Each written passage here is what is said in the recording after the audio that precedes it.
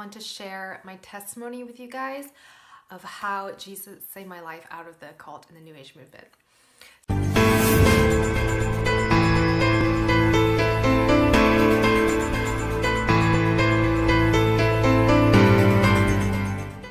Um, my parents, my dad's Buddhist and my my mom's agnostic, pretty much. And um, so I kind of was raised in this environment that was, you know, they did tell me their Buddhist values and the Buddhist religion, but they didn't force me to choose a religion.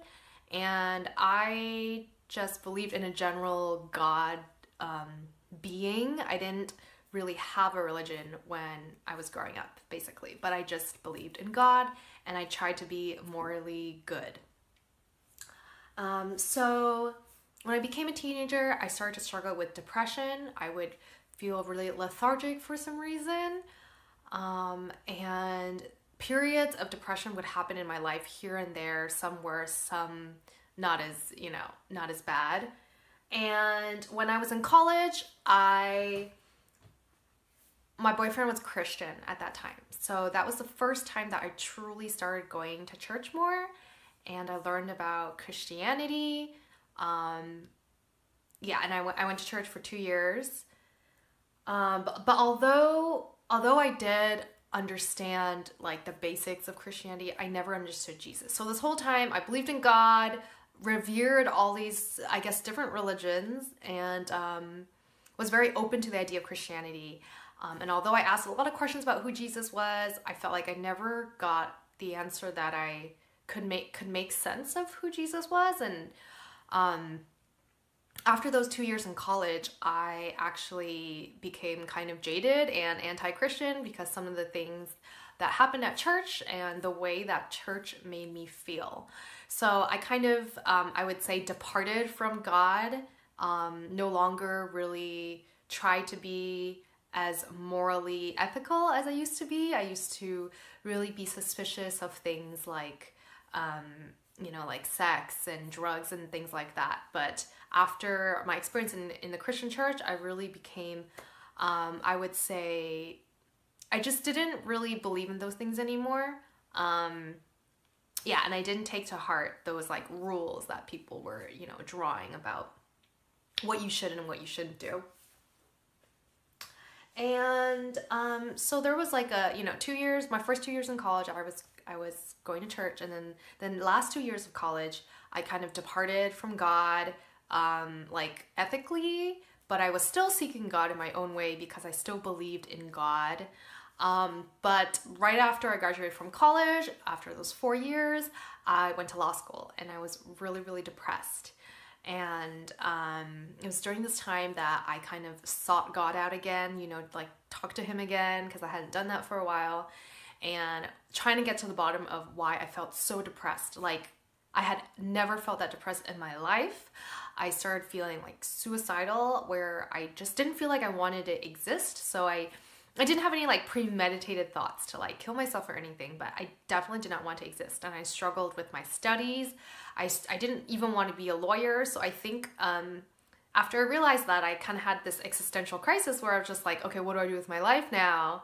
Um, and it was after realizing all these things that I had a conversation with God and I told him that if I can get to the bottom of, this depression, right? I kind of like made a vow slash bargain with God. It's like, God, I want to get to the bottom of this depression because I truly believe that God cared about me and he he loves me and he loves everyone else. And I was just like, why would you want me to suffer through depression? What is the source of this depression? Because it was like I didn't know why I was so depressed. It just like came into me in my life in all these random times in my life and it was like something I could not control and I was just like, God, I know there's a reason behind this. I know that this is there's something about this that's not me. You know, because I I'm a very optimistic, cheerful person, and so it was very hard for me to accept like my melancholy nature and um, these things would happen to me. And so I made a vow to God, and I said I'm going to quit law school, and I'm going to figure out why I'm depressed. And if I can figure it out, God, and if you can show me and guide me to that, then I will I will tell everyone. So that was my vow to God before I knew that you couldn't you shouldn't make vows before, you know, the living God, that which is which is in the Bible, but so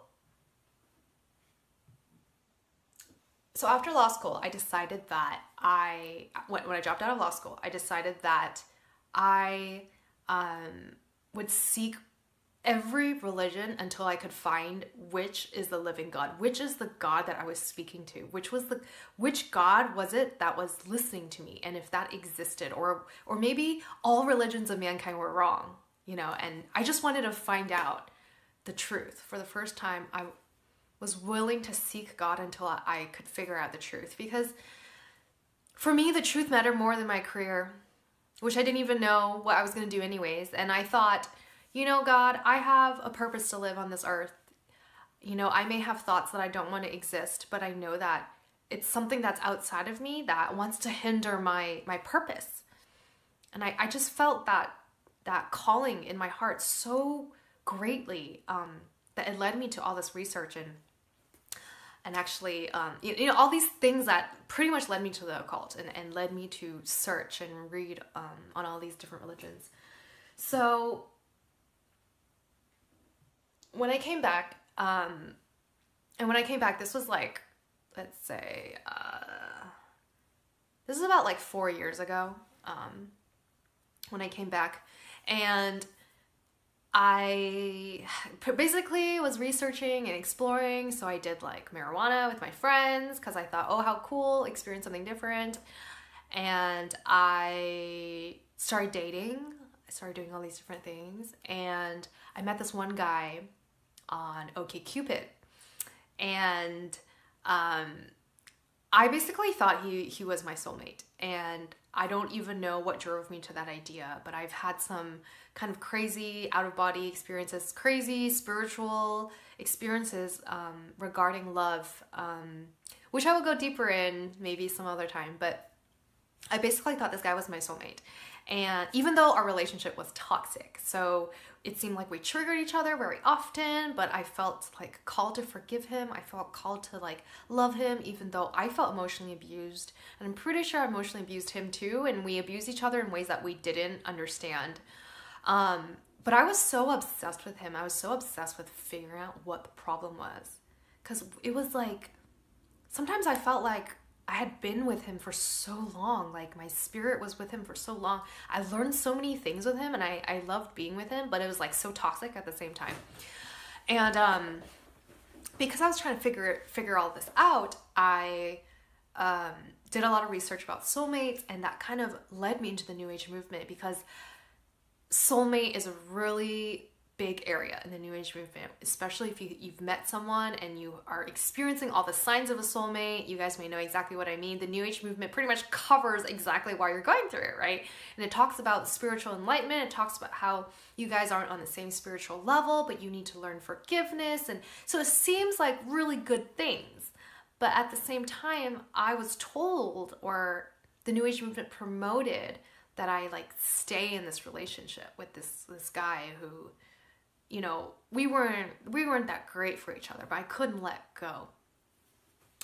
And um, all of that even led to fortune telling and divination because I was so obsessed with him. He was my idol, so I wanted to find out what he thought of me. And sooner or later, I was like doing tarot cards for my friends, and I didn't even need tarot cards at one point. I got so good at like figuring out the future. Like people would just be like, "How do you know that?" Right. So I that was a time in my life where I realized that I was very deep into the New Age movement, and I and I thought that these spiritual things, like fortune telling, divination, all of that, were, were real things. Um, and you know, there's a lot of the world which thinks that spirits and all of that is is is not like real, but I truly started believing this because of all the spiritual encounters that I was experiencing. Um, so about this started happening about like I'd say actually like four, five, or six months in. Um, that I met this guy and started doing fortune telling and I started meeting people who do the same thing as me, who kind of validated even my encounters and that what was happening to me was real. Um, six months in, I came onto this website uh, about the Galactic Federation, which I believe is like a Star Trek call or something like that. Um, but it's a very popular concept in the New Age movement about aliens and how certain human spirits um, they their past lives right? Because karma past lives and reincarnation is a really popular concept in the new age movement. And that's something that even buddhists believe. So i was like okay i can believe that. Um, so i went on this website which said that if you take this test you can figure out like what galaxy you're from um, and maybe you have like a mission on earth. So I'm thinking, this is great. I've been looking for my mission and my purpose because I want to exist, right? Um, so I went on this page and I did the test because I was just like, oh, this is just fun, or I'll just try it. And after the test happened, actually, I started to have a lot of visions and um, hallucinations, and they were enhanced when I was smoking marijuana. I started seeing aliens and archangels and all these different things. Like my life changed. So six months in, I was after I was researching all these things, a New Age movement, my life changed. Um, and I started going to like conferences and I started learning all these different things about the New Age movement. You name it, I've probably done it. The only thing I haven't done is astral travel, but I've you know, I bought crystals, I started getting into astrology, I started learning about numbers, I started learning about like the mantras and the visualizations and the, you know, the ones with all the designs. I forgot what that, you know, visualizations, um, uh, you know, that sort of thing. So I, I kind of really researched into a lot of different areas of the New Age movement. And um, around these six months when I was, you know, getting even more deep into it and I would see all these visions and all these things, um, I started doubting about the New Age movement about like six months in, or like almost like eight to nine months in, or a year in, because all these people I started seeing, like psychics and um, astrologers and different people I've met, some of them didn't bear fruit like some of them just their character didn't line up to like their actions because the new age movement teaches that god is love. And so everything is positive. You know there's a balance of yin and yang. There's a balance of good and evil. That's all like occultic ideas that have been you know taught in the new age movement um, and for anyone who doesn't know, um, my definition of the New Age movement is it's a disguise of the occult. It's like a movement that disguises um, the fact that they're actually celebrating the occult and they take different religions like Eastern religions, like Buddhism, Hinduism, and they pair it up with Western religions like Mormonism, Scientology, and all these cults are a part of um, the occult. And so I basically start practicing Buddhism, Hinduism, you name it. I practiced weird things and I researched into weird things and I read some occultic books um, I was really into knowledge. I was really just learning everything that I possibly could in the occult and in the New Age movement. But yes, at a certain time, I started doubting because there's this term thrown around in the New Age movement called the source. And the source is considered like energy. So, like, we, the source is like a force, like the force in in um, Star Wars, I believe that's exactly what they are um, referring to. Because the Force is kind of like the source, where God is a force and it's it's energy that is can be reflected either positively or negatively, depending on your intention. Um, and it's the source is considered like an energy rather than a being so God isn't really a being, but it's like a force. It's like energy. And um but the source is the highest energy of the universe. So it's all the energy or molecules that make up us, like human beings, animals, everything that's been created. Creation is made up of the source and creation comes from the source. So that is those are the ideas that New Age movement promotes about the source. Um, furthermore, uh, mediums would channel the source, and those that could do that were considered the best mediums because they could channel from the highest energy of the universe. So their information was considered, quote, quote, more accurate. Um, so hearing about the source, I was really wondering if is this source good or evil, right? Because depending on the intention of this source, right, which supposedly was considered love, all unconditional love, right? But depending on who is actually the source or who is promoting this source, this entire movement, the occult and the New Age movement, could really just be inherently evil. And especially the leaders of the occult and the New Age movement, they just, you know, like they just did things that um, didn't make me think that they were supporting the idea that the source is love. If their character just suddenly got super angry all of a sudden, or, you know, I'm at one of these new age conferences and the leaders have like their breasts like hanging out from their shirt. Things like that. And, anyways, that's a different topic. Um, so I remember I, for a couple months, I thought, okay, or a month or so, I'm not to go see psychics anymore. I'm to remove myself from the situation until I can figure out who the source is, right?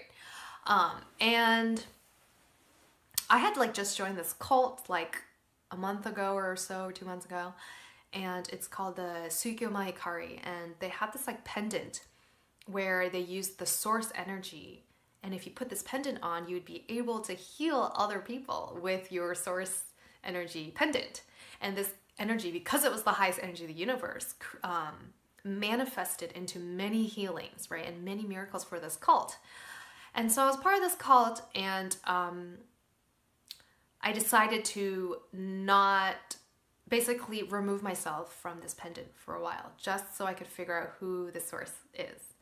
And I remember after like two weeks or so, it was just like a random night. I just touched the pendant by accident or for some reason touched it. And I immediately started realizing, like, my soul kind of, I don't even know how to explain it, you guys, but I just knew that that energy was Lucifer. And there are a lot of things, I think I had started learning about who Lucifer was because the occult, the highest leaders of the occult will talk about Lucifer. So, you know, the initiates on the bottom of the ladder of the cult or secret societies, they don't know who they're serving. But you go to the, you know, the Freemasonries of the 32nd degrees or whatever, the highest members of those uh, secret societies know they're serving Lucifer. So I started learning about Lucifer around this time. And when I touched the pendant, I just thought, this energy is Lucifer. Like Lucifer is the source. He is trying to pretend to be this quote quote God, this energy of unconditional love. And and the healing that comes from that pendant is false light. It's it's Lucifer masquerading as light. So he is actually false light. And he's doing many healings and many miracles through these this sort of thing. And the, this cult, Sukyo Mahikari, is only one of the various ways that Lucifer has tried to really manifest in you know many areas of our life. And I basically had a conversation with Lucifer um, that he could not do this. That he he was spreading false light and he couldn't do this. Obviously, I was I don't even know how, why I had that conversation with him, but after I had that conversation, I was like, okay, so this new age movement probably isn't true, right? So I'm thinking like already, okay, the occult is bad. What is the occult? So at that time, I didn't know what the occult was. I only knew what the new age movement is because they are the same, but they are disguised differently.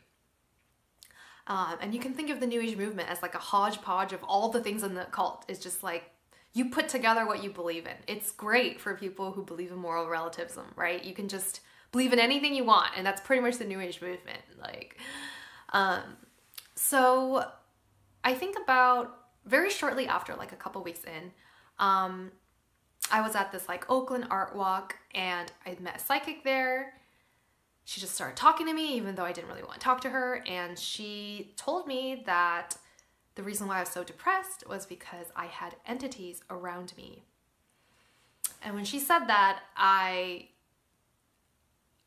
I thought there was so much truth to her statement that I could not help but figure it out. And I was just like, yes, that's exactly it. Like, it's been there my whole life. And I just couldn't figure out why it's been there my whole life. And I was just like, okay. And I was totally down to like see her then. And we did this ritual to remove these entities from me. So, like, um, she required some things, forgot like photos and things like that. It was pretty much like a voodoo ritual, but I didn't know that at that time. Um, and she asked me for money, and so I gave it to her. because I was desperate, you guys. So, like, this whole time being in the cult, although I was like doing all this work, like researching all these things, I felt no peace. I felt so empty. I felt like I was always trying to be perfect and I felt I felt more suicidal than ever actually. So I would hear thoughts in my head, voices telling me to kill myself. It just got really bad. So when she just like offered this truth to me on a platter, I was just like, "Yes, I will take this," right? So the first ritual though didn't work um, so I asked her to do it again, which is probably what I shouldn't have done. But I asked her to do it again, and we did a bigger ritual, more money, more things she wanted from me, more voodoo stuff. I don't even remember she asked me for like hair, but it's very possible that I gave her some of my hair. Like, anyways, I was very ignorant of how the cult was. Um, and that's kind of why I fell into all this danger. Anyway, so I, she asked me permission to for someone else's help who has more quote quote spiritual power than her and can get rid of these demons or entities. That's what they called them, guys. That's what the New Age movement calls all of these things entities, right? So, entities like in the New Age movement are just like fragments of souls of like human spirits that used to live, that just like float around the universe and attach to you, or things that are around you that harass, I don't know, harass you for some reason, things like that. So the New Age movement does not call them demons and does not call them, um, necessarily does not call them spirits. Um, so I did this ritual and turns out right after the ritual, I felt like I wanted to rape little kids. And that was the moment when I realized that demons were real because demons, you know, are spirits that come into you that um, are not you, right? But provoke you to do evil things and to think upon evil thoughts. And I started realizing at that moment that um, I could want to rape little kids. I could have thoughts of raping little kids, but I knew that wasn't me. So it had to be something that was outside of me, that was put into me. And I believed that um, that psychic had put it into me, put these, she put three demons into me. And one of them was a pedophile. It was a, a spirit of pedophilia. Um, and he could have possibly, I believe he was, up, there were, these demons were other things as well. But that was one of the characteristics of this demon. And that's why I wanted to rape little kids so badly. And so these three demons, in my opinion, um, and from what I understand, were very high ranking demons that were put into me. They were so high ranking that I felt exhausted for in, in the next two weeks. I thought I was going to die. I felt like I was being drained. I, I felt like sometimes I would feel things in the spiritual realm, like like witches and some other things were think people were attacking me and I didn't understand why. I felt all these forces in the spiritual realm. Um, and I truly feared for my life, guys, because when you feel like a zombie where you have absolutely no energy and you feel like you want to rape little kids at the same time, that is a very scary combination. And it was that moment where I thought to myself, okay, I should probably look for exorcists now. I should probably like figure this out, right? And I remember in the Bible that Jesus cast out demons. So um, and my friends, my Christian friends, are telling me that you don't need exorcists, you just need to believe in Jesus because that's how he'll truly come out. And I was just like, you know what? They're right. I need to just believe in Jesus. This concept that I have never understood ever since I went to Christian church. So I'm sitting there because I'm so afraid of the Bible and I'm so skeptical of the Bible. I'm just like actually looking up who Jesus is and all these occultic means. So like I will like watch The Matrix, for those who don't believe the Matrix is a cult, that's another story. But you know, I watch the Matrix. I do, I basically just like research about Jesus and all these other ways. You know, like who was Jesus as ascended master? All, I never really looked for Jesus in the in the biblical in a biblical way. But um, God is so good, and even though I look through things in the occult fashion, I could still somehow understand who Jesus was. Okay, Jesus is about forgiveness. The theme of this person is forgiveness. I can understand that, right? So, um, this, it's been around, around like two weeks now, And I'm sitting on my bed one day, or laying on my bed one day because I'm so tired. And from my third eye, which is something that you open when you meditate and when you practice the occult, usually through meditation, that is how the third eye opens. And so through the third eye, I was able to see all these things from the spiritual realm, and I could see that there was like this like old hag that was coming after me. And in that moment, I felt really scared, and I really felt like she was out to kill me, that she was casting some spell on me that I didn't understand. And I actually thought that that woman was the same woman that the psychic had paired up with. Like, she had asked me for permission for this woman to actually put the demon in me. Um, and I was asking God, God, who is this woman? Right? Like, yes, she might be that person that um, the psychic, you know, paired up with, but who is she really? What is she here to do? And I heard or felt God tell me that she is a necromancer. And a necromancer is who Lord Voldemort is in Harry Potter. So someone who raises the dead, communicates with the dead, and practices the darkest of the dark arts the darkest of the dark arts, guys. And that's why I was so scared. I was like so scared for my life. Like I thought she was really out to kill me because I felt the, the evil off of her. And I had this conversation with God where I was like, okay, God, I'm about to die, or I really think I'm about to die. What can I do now? I only have a couple seconds. And she's gonna come kill me, you know, or she's gonna whatever, do something terrible.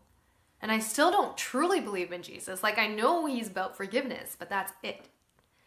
And um, I'm having this conversation with God, and my life is flashing actually before my eyes. And I'm thinking about all the things I've done in my life. And I'm thinking about whether it, um, whether it's okay that that I die, whether it's fair. And I'm like, oh, you know, life isn't. This is not fair. I was betrayed that was the first time I realized like I've been betrayed, God, by I'm betrayed by the occult, by the New Age movement, because I've been seeking you all along. Ever since I dropped out of law school, all I wanted to do was find you. That was my heart behind it. But somehow I got into all this these traps, Satan's traps, like this guy I fell in love with that I couldn't control, and it led me down all this, this road that I couldn't control. And I was asking God, why did this happen? Why did you do this to me? How could you do this to me? I remember God telling me, like, asking me, Do you want to live, Cynthia? And I was like, You know, that's a very interesting question because I felt like I was just like throwing my life away. That's probably how I fell into all this danger. But I was just like, Yeah, God, I want to live. You know, I have all these suicidal thoughts. And now I know that depression is from all these like demonic oppression and like you know and i just i was just like i know now i want to keep my vow to you i know the the true nature of the spiritual realm now. I know what's going on in the cult. I know what's going in the New Age movement. I was like, God, let me live. Let me live for you so I can tell everyone.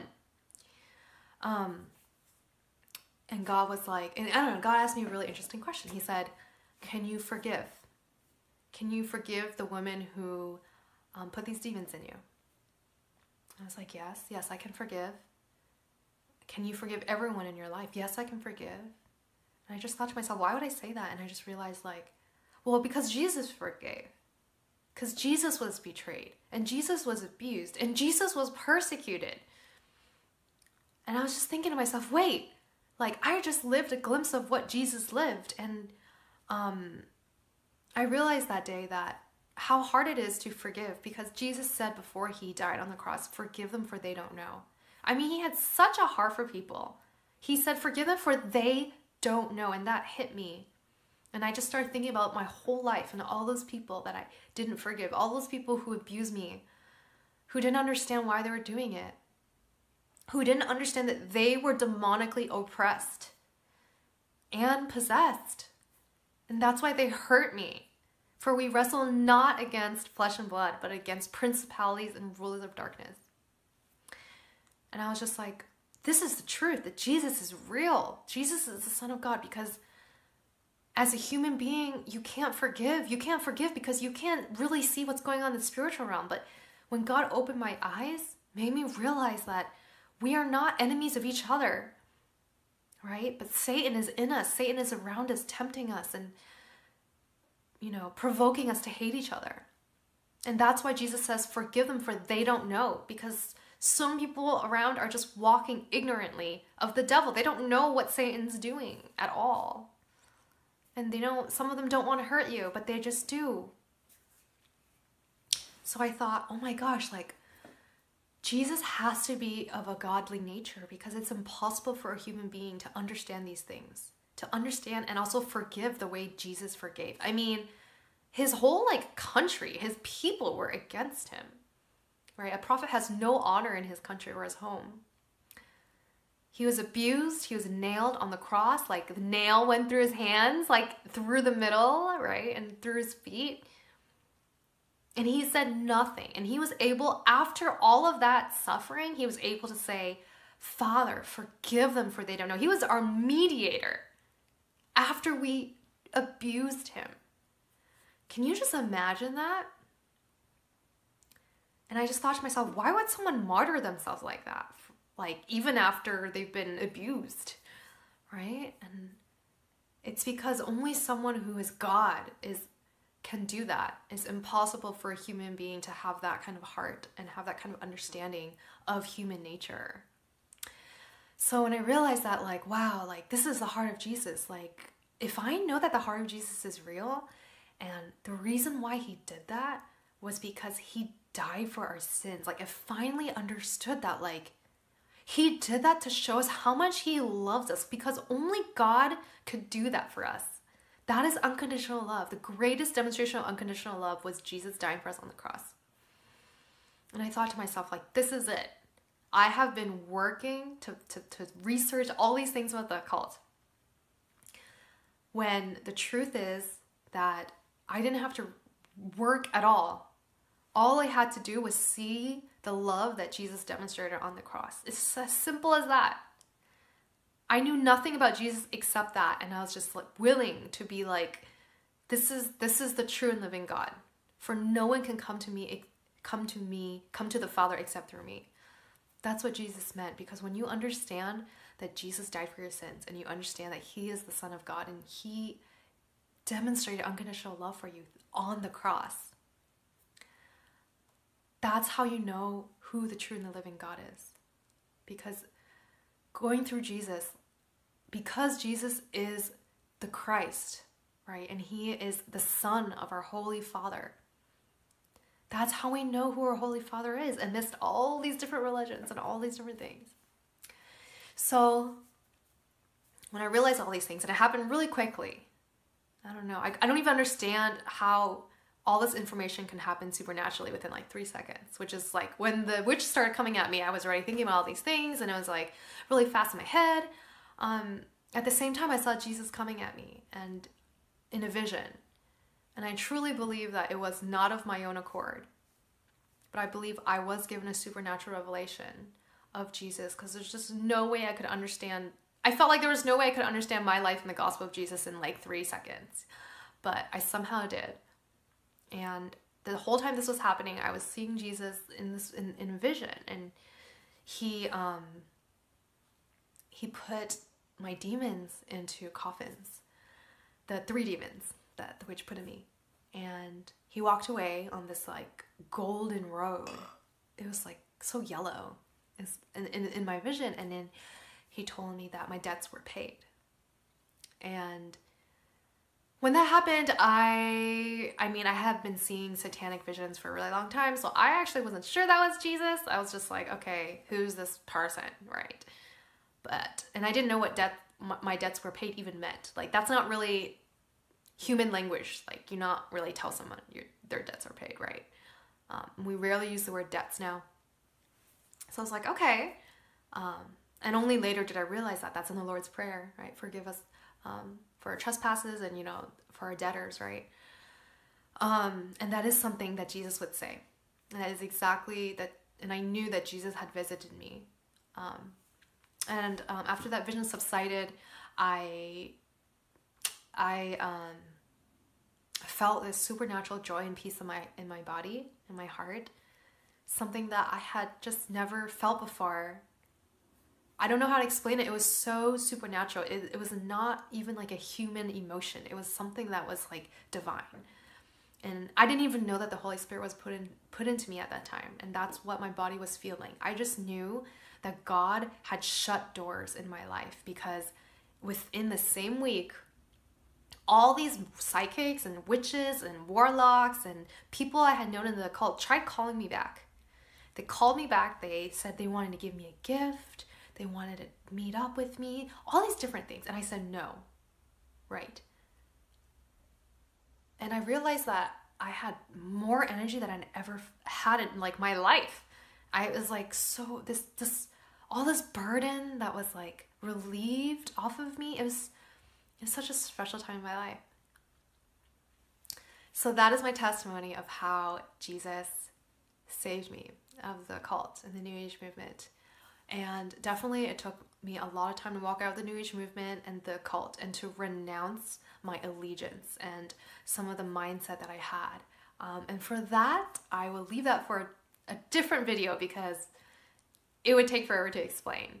Uh, I'm also writing a memoir on my experiences and my entire testimony. Um, and that will be coming out maybe in a couple years or however long that I feel called that God wants me to finish writing this book. So please, I will, you know, let you guys know, but please um, just stay tuned. And if you want to watch my testimony in full, please watch that as well and look forward to um, some more story times with me. Thank you, you guys, for watching. Uh, I just pray that um, if you are walking out of the occult right now, I just pray that um, God is with you. And I just pray that you trust Him. And um, something that is amazing about my testimony is that I believe that if I sought God with all my heart, I would find Him. And it's true. So all roads don't lead to Rome, but all roads lead to Jesus. And that is my opinion that God maybe will let you go through things as you seek Him. And I had Satan deceive me and entrap me because he did not want me to find the truth. And um, I, you know, had people tell me like that I was wicked and that's why I fell into the occult. And I was, but I also sought God with all my heart. So I just want to empower you guys. If you guys are trying to seek the true and living God, um, that you will find him if you seek him with all his heart because that is what the Bible promises. So I hope you guys have a blessed time. Um, and I pray that God will be with you guys. Bye.